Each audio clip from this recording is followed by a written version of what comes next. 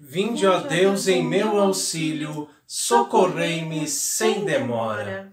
Recentemente nós gravamos um vídeo, você deve lembrar, Maria Carolina, sei que sua memória não é muito não boa. Não é muito boa. mas eu acho que você vai lembrar, nós gravamos agora há poucos dias, né, poucas semanas, um vídeo que falava sobre a esquerda e a direita. Deu né? bastante polêmica esse Deu, vídeo, hein? os esquerdistas de plantão que estão no meio de nós, né? Vieram reclamar bastante, dizer que isso não tinha nada a ver, etc, etc, etc. Mas entra por um ouvido e sai pelo outro, né? Porque graças a Deus nós sabemos que todo católico é de direita, todo católico é conservador, todo católico é pela família tradicional, é contra o aborto, etc, etc. Né? Mas se você não viu esse vídeo ainda, dá um pausa agora aqui, vai lá, assiste esse vídeo primeiro, né? E depois você continua, porque é como se fosse uma continuação daquele assunto, né? Só que vamos trazer algumas novidades aí, vamos dar umas complementadas, ok? Muito bem. Naquele vídeo em que nós falamos sobre esquerda e direita, nós mencionamos uma pequena passagem do credo. O que, que diz aquela passagem, Carol? Que Jesus... Jesus está sentado à direita, né, de Deus Isso, Pai. Isso, a dexteram patris, né, sentado à direita de Deus Pai. Essa direita, como nós explicamos no vídeo, no vídeo passado, é né, a alegria. é a alegria, é a felicidade eterna, né? Mas ele está sentado à direita. Bom, aí nós trabalhamos em cima dessa questão da direita, mas hoje nós queremos trabalhar em cima da questão de estar sentado. No trono. Se ele está sentado, é, Carol já, já disse tudo, né? Se ele está sentado, ele está sentado num trono. Mesmo porque Jesus é o nosso rei. rei tá? Então, o livro do Apocalipse, escrito por São João, ele descreve, né, ele descreve lá Jesus sentado num trono. E esse trono ele representa poder, glória, honra, majestade, não é mesmo? É isso mesmo. E é, quando Jesus foi interrogado por Pilatos, né, um pouco antes de ser condenado à morte, Jesus então revelou que o meu reino não é deste mundo. Mas nesse momento, então, Jesus o que ele fez? Ele confessou, digamos assim, que é o rei. Porque se o reino dele não é deste mundo, então. Então, ele, é, ele é rei. Então, ele, ele tem é um reino em algum lugar, né? Ele tem um, um, reino. Pilatos perguntou: Rex, tu, né? Tu és rei? E ele não disse, não, eu não sou rei, não o pessoal sou. se enganou aí e tal, desculpa, é foi mal, assim. né, tal, tirou dele da reta. Não. Ele disse, o meu reino não, não é, é, desse, desse mundo. mundo. Se o meu reino fosse desse mundo, ele continua, né, falando, mas ele afirma categoricamente. E não é a primeira vez que Jesus fala nos evangelhos sobre o reino. Jesus conta muitas parábolas. As parábolas são espécies de historinhas para que os tanto os apóstolos, né, como outros discípulos, como o povo em geral, Nossa, né, pudessem entender. A gente percebe muito que as parábolas de Jesus falam de pesca, de agricultura, de clima, né, de, de ventos, etc, etc, porque eram coisas que aquele povo na época Comum, entendia né? uhum. facilmente, ia conseguir compreendê-lo. Mas como a Carol falou, para nós também, né, quando lemos a, as parábolas, nós temos uma compreensão principalmente porque somos assistidos pelo magistério da igreja que interpreta corretamente as Sagradas Escrituras e passa para nós, através dos bispos, através dos padres, a interpretação correta. Graças a Deus somos católicos, né? Porque se nós fôssemos protestantes, meu Deus, já nós estávamos lascados, né? Que aí nós íamos seguir o solo escrituras Cada do Lutero, um né? um. Cada um fazia a sua interpretação das Sagradas Escrituras e essas parábolas iam render aí é, mais de 36 mil seitas diferentes, né? Que já rendeu, não é verdade? Mas, muito bem, tem uma parábola que Jesus diz que o reino dos céus é como um grão de mostarda. Isso aí. E o reino dos céus é semelhante a um tesouro escondido no campo também, né? É, outra parábola ele fala que o reino dos céus é como uma pérola preciosa. Uma pedra preciosa. E o reino dos céus, né?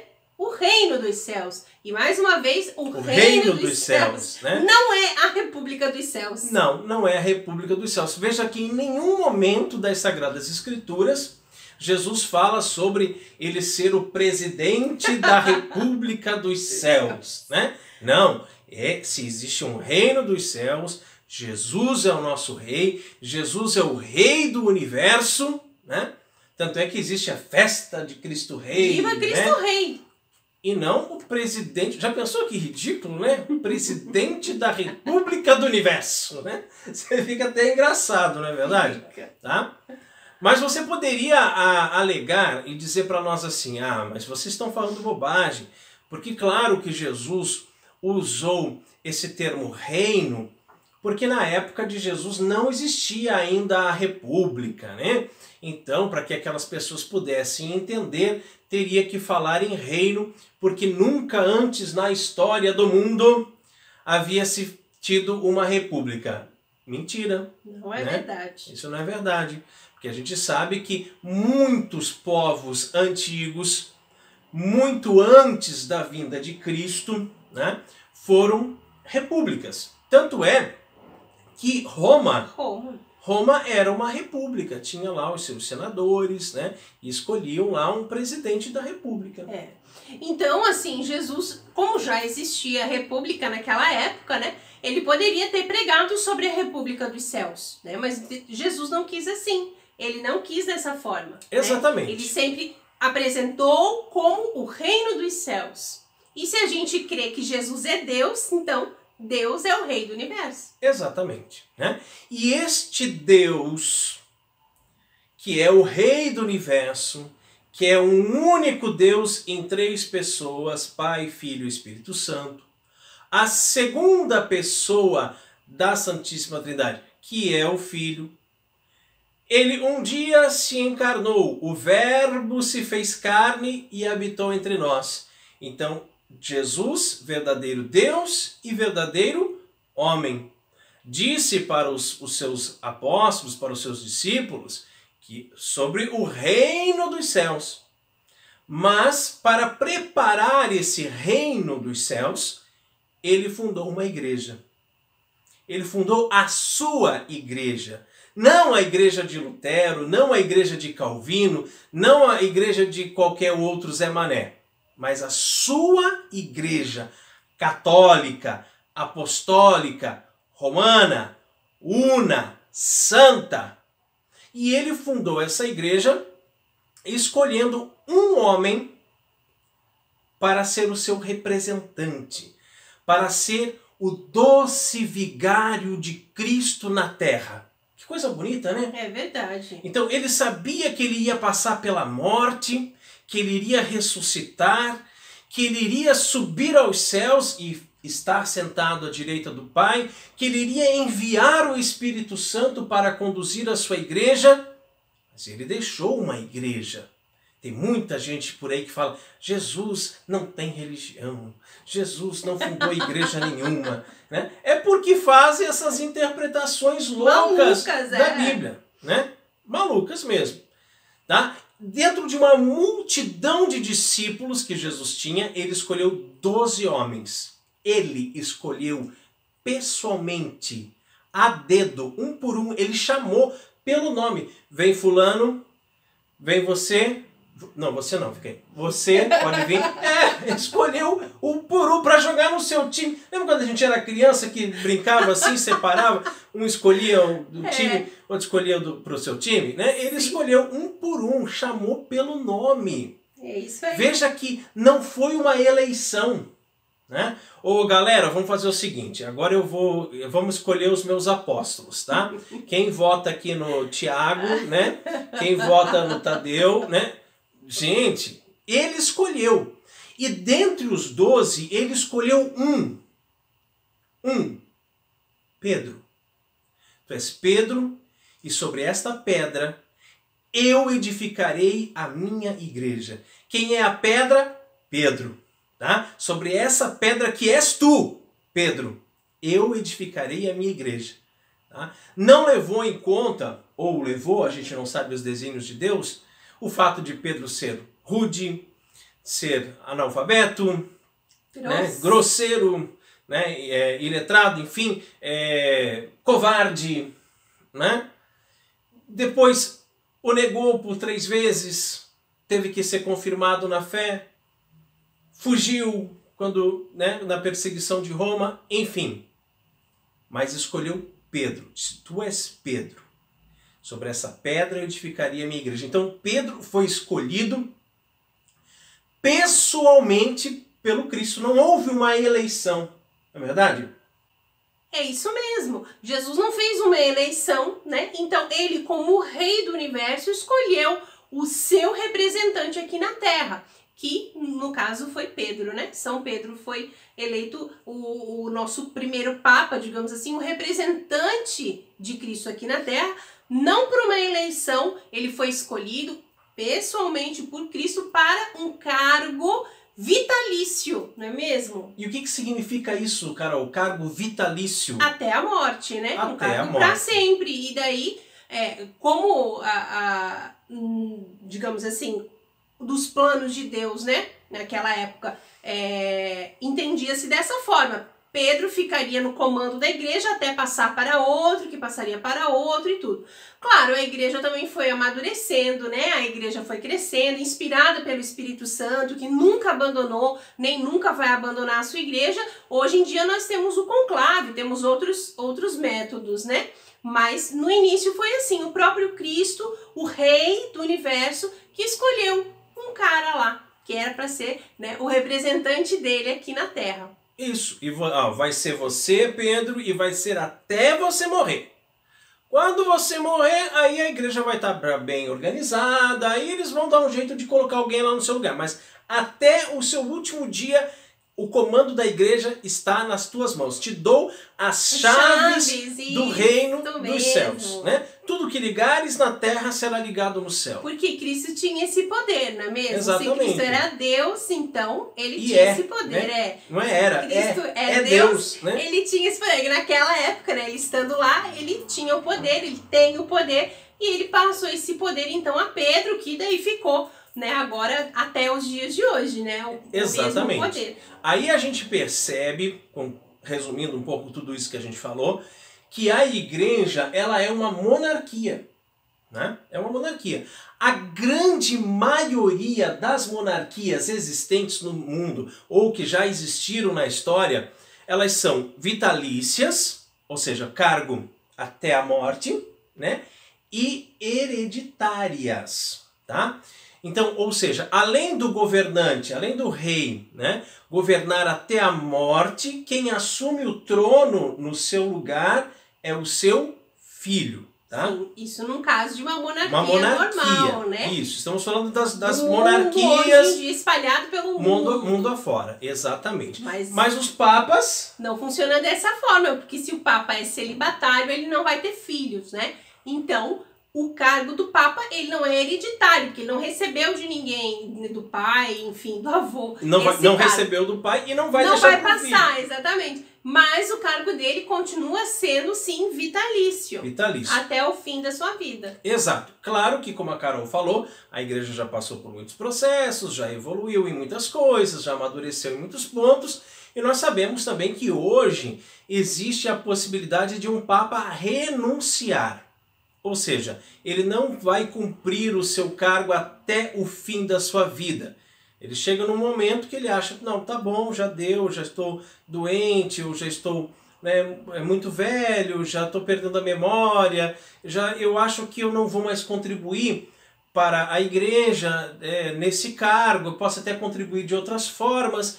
Então ele vai lá e faz uma carta de renúncia, né? E, e essa renúncia ela é uma abdicação do trono. Então voltamos lá naquela palavrinha trono. Jesus está no céu sentado num trono. A igreja, como é uma monarquia, existe o trono do Papa. Porque o Papa, ele é como se fosse um rei na igreja. Não um presidente da república, um rei. Tanto é que até bem pouco tempo atrás, quando era eleito um Papa, ele era coroado. Né? Tinha uma tiara papal, uma, uma coroa, uma, uma cerimônia de coroação do Papa. Né? Depois isso foi por culpa do modernismo, né, que entrou no mundo, que a gente sabe, essas coisas todas, Concílio Vaticano II e blá blá blá blá blá, que acabou que tiraram essa cerimônia da coroação. Mas o Papa é um chefe de Estado. Ele não é só um líder religioso, gente. Não dá para comparar o Papa com o líder daquela igrejinha que tem lá na garagem, lá no fundo do quintal, lá na esquina.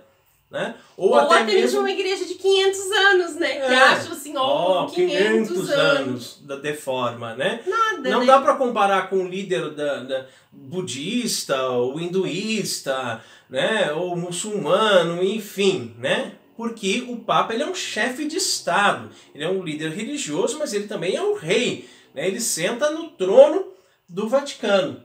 E a gente percebe também que nas nossas catedrais, que é onde ficam os bispos, que são os príncipes da igreja, existe lá a cátedra, né? Aquela cadeira que é a cadeira do bispo. A cadeira do bispo nada mais é também do que um trono, tá? Mas então, como a gente estava falando, o, o Papa pode renunciar ou então é, exercer o seu cargo até o fim da sua vida. E aí o que, que acontece, Carol?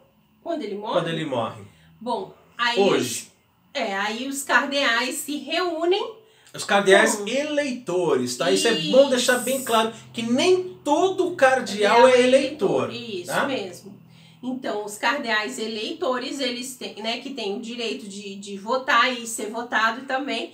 Então, eles se reúnem com o auxílio do Espírito Santo para poder eleger um novo Papa. É assim que funciona. Isso, isso se chama conclave. Conclave, conclave Isso, conclave, exato. porque é as portas fechadas, com chave, né? Fechado, tá? Então, dentro ali do conclave, que pode é, durar um dia, dois dias, uma semana, Várias um mês, semanas. depende aí da, da boa vontade do Espírito Santo, né? Então, ele se reúne a portas fechadas para escolher o um novo Papa. As pessoas que estão do lado de fora acompanhando só sabem que foi eleito o novo Papa quando? Quando sai fumaça branca. Isso, quando sai a fumaça branca na chaminé. Né? Saiu fumacinha branca, foi eleito o novo Papa, enquanto sair a fumaça é. preta é porque eles continuam ali reunindo-se, vão continuar no próximo dia, etc, etc. Bem, agora imagina se fosse uma república a igreja. Tá? Eu falei até agora que a igreja é uma monarquia. Se fosse uma república, haveria eleições diretas em que quem? Nós, os fiéis do mundo inteiro, tá? votariam. Logicamente não ia ser usada a urna eletrônica do Brasil, que tem muita fraude, né? É mais furada do que peneira mas votariam para eleger um novo Papa. Imagina a confusão que não ia dar. Se numa eleição de um paizinho pequeno já dá quebra-pau, já dá um monte de confusão, imagina para você eleger um novo Papa, sendo que o povo que iria para as urnas para Escolher, votar, votar, né? É. Votar confusão, né? Imagina. E aí, com tudo isso, todas essas evidências, fica muito claro, né, que a igreja é sim uma monarquia, que o Papa, ele é o representante de Cristo aqui na Terra, então ele é um outro Cristo, ele é o nosso rei aqui na Terra, digamos assim, o rei da igreja, isso, né? Exato. Da igreja militante, e que ele vai sim reinar na igreja até o fim da sua vida. É verdade, né? Então, a, quando a gente fala que a igreja é uma monarquia, que a igreja tem o Papa como líder supremo. Claro que o Papa não toma as atitudes dele todas sozinho, né? Ele tem as, as, coisas, as coisas que ele diz ex cátedra, né? Mas ele consulta né, todo, todo o magistério da igreja e muitas vezes consulta os bispos do mundo inteiro, etc, etc. Mas é bom que fique bem claro que a igreja não é uma democracia. Não é. A igreja é uma instituição divina, trazida do alto por nosso Senhor Jesus Cristo. Então isso significa o quê? Que quem manda na igreja é Deus, é nosso Senhor. É a Santíssima Trindade, é o Pai, o Filho e o Espírito Santo que mandam na igreja. Nós temos o Papa, representante, vigário de Cristo na terra, né? mas não é democracia, por quê? Por que, que o Papa não pode chegar e dizer assim, gente, o que, que vocês acham aí? Vamos é, liberar é, padres casados, vamos liberar ordenação de mulheres, vamos fazer uma consulta popular, um plebiscito para ver o que, que o povo acha. Não! Né? Quem tem que ser consultado em tudo é nosso Senhor Jesus Cristo. Por isso que o Papa tem que estar sempre em oração, né? em comunhão com o Espírito Santo de Deus, para tomar as decisões mais acertadas. Então a igreja não é uma democracia. Né? Não é o, a palavra democracia ela significa isso, que é o, o, poder que emana do povo, né? o povo que decide, o povo que manda. É. E aí a gente vê uma coisa muito bonita, né? Que a igreja ela foi é, sonhada por Deus, né? Nós podemos dizer assim, ela foi criada no coração de Deus, ela foi instituída pelo Filho e manifestada pelo Espírito Santo, guiada pelo Espírito Santo até a vinda de nosso Senhor Jesus Cristo novamente, não é mesmo? Até que Jesus volte, então, a igreja ela é manifestada no mundo inteiro pelo Espírito Santo. Exatamente. Então, é, se Deus escolheu, tá? Deus escolheu, não fui eu, não foi a Maria Carolina, tá? para depois vocês virem tacar pedra aqui na gente. Tá? Se Deus escolheu a monarquia como forma de governo, tanto para o governo dos céus, porque ele fala o reino dos céus, que é a igreja triunfante, né? como também para o governo temporal, que como a Carol já disse, é a igreja militante, né? É porque sem sombra de dúvidas, ele que sabe tudo, sabe que esta é a melhor forma de governo que existe, tá? A monarquia é a melhor forma de governo que existe. E isso vem do alto, isso vem de Deus. É isso mesmo. E eu acredito que a gente pode sonhar, né? E rezar também para que um dia a República do Brasil, que foi instituída assim por um golpe militar, ela venha a cair e nós possamos ter é, um dia o nosso rei de volta, né? Restaurar a monarquia no Brasil. Exatamente, né? E viva Cristo Rei! Viva Cristo Rei! Glória, Glória ao Pai, ao Filho e ao Espírito Santo assim, assim como era no princípio, agora e sempre, por todos os séculos dos séculos. Amém. Amém.